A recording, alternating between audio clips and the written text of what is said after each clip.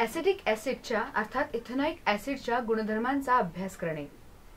आपल्याला आहाराचा भाग म्हणून आपण लोणचं सॉस चटण्या इत्यादी पदार्थ खातो. आपण जेव्हा हे पदार्थ बाजारातून आणतो तेव्हा तुमच्या लक्षात आलं असेल की त्यांच्यामध्ये परवानगी असलेले तेवढेच विनेगर घातलेलं असतं. विनेगर म्हणजे चार टक्के ऍसिटिक ऍसिड त्याचा उपयोग पदार्थ टिकून राहण्यासाठी करतात.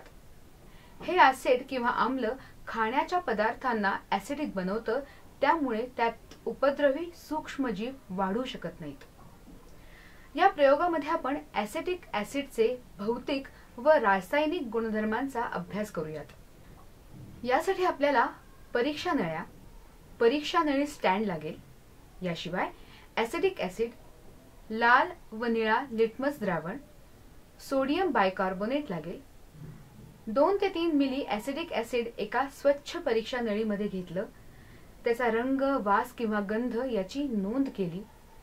आता यात चार किंवा पाच मिली पाणी घालून विरल आम्ल तयार केलं आणि हे इतर प्रक्रियांसाठी वापरले.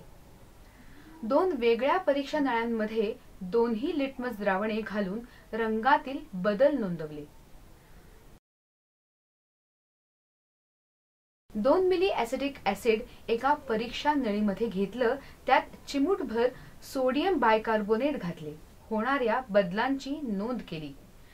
निरीक्षण व अनुमान तक्त्यात भरले. परीक्षा निरीक्षण आणि अनुमान. वास विनेगर सारखा वास येतो. ऍसिडिक ऍसिडचा वास उग्र असतो. पाण्यात विरघळणे. ऍसिडिक ऍसिड पाण्यात विरघळते. ऍसिडिक ऍसिड मिसळण्याजोगा आहे. लिटमसवर परिणाम. निळा लिटमस लाल होतो. ॲसेटिक ऍसिड सौम्य आम्ल आहे. लाल लिटमस रंग बदलत नाही. सोडियम बायकार्बोनेट बरोबर प्रक्रिया. बुडबुड्यांच्या स्वरूपात रंगहीन वासहीन वायू बाहेर पडतो. बाहेर पडणारा वायू कार्बन डायऑक्साईड आहे. वायू चुनकळीमधून सोडला आधी चुनकळी दुधी होतो मग तो रंगहीन होतो. टीप ऍसिडिक ऍसिड हे आम्ल असून सुद्धा खाण्याच्या पदार्थांमध्ये जगभर वापरलं जातं. आपण खाल्ले तरीही ते सुरक्षित आहे कारण की ते खूप विरळ असतं आणि ते बनवण्याची प्रक्रिया सुरक्षित आहे.